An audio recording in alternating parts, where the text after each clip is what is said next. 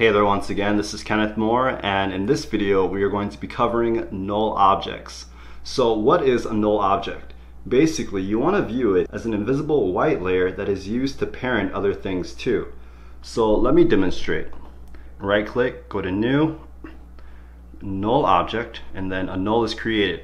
And if we look up here in our bin, we will see in the solids that a white solid has been created but we don't see it in our composition because it is invisible.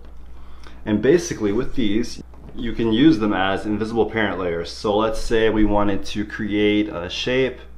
Let's try a polygon here. We'll create our polygon like this. And then let us give an animation to this somehow. Let's so we can start here and put our position.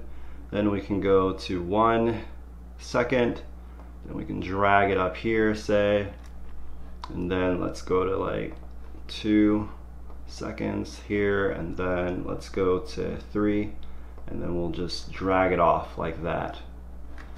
Okay.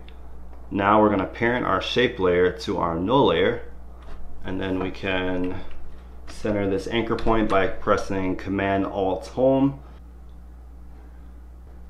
and then let's move the position of it so that it looks a little bit nicer.